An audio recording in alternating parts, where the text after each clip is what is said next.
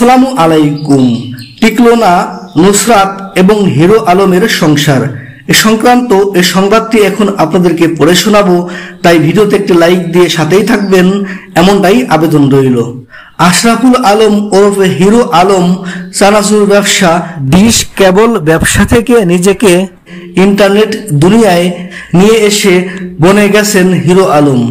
দেশ থেকে বিদেশ কেনা চেনেন এই হিরো আলমকে। নিজেকে ভাইরাল করাই যেন তার নেশা। কিছুদিন আগে ওপার বাংলার কাঁচা বাদাম খ্যাত শিল্পী ভুবন বাদ্যকারের সঙ্গে গান গেয়ে নতুন করে আবার আলোচনায় আসেন আলম। সবকিছু ঠিকঠাক চলছিল।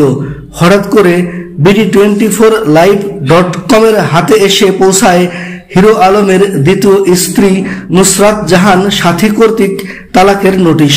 এ বিষয়ে নুসরাত জাহান সাথীর সাথে একান্ত আলাপ হয় বিডি টোয়েন্টি ফোর লাইভের। এ সময় তিনি বলেন, হিরো আলমের সাথে আমার বিয়ে হয় দুই হাজার উনিশ সালে। এরপর থেকে আমাদের সংসার খুব ভালো চলছিল। আমি জানতাম তার আগের পক্ষের বউ সন্তান রয়েছে। তবে আমার কাছে হিরো আলম বলেছিল তার প্রথম বউকে তালাক দিয়েছে।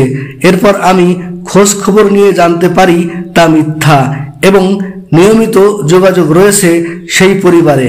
এরপর থেকে আমার সাথে হিরো আলমের সংসার জীবনের কোন্দল শুরু হয়? শুধু এখানেই শেষ না, হিরো আলম নিজেকে পরিচিত করেছে যেভাবে ঠিকভাবে একাধিক নারীর সাথে মেলামেশাও করে। আমি কিছু বলতে গেলে আমাকে তালাকের হুমকিও দিয়েছে। নুসরাত আরও বলেন আমি গত আট মাস ধরে আমার বাবা মায়ের সাথে থাকছি, তবে আলমের সাথে কাজ করার সুবাদে একসঙ্গে কাজ করছি। আমাকে বিভিন্নভাবে হিরো আলম ভয়ভীতি দেখিয়ে রাখতো।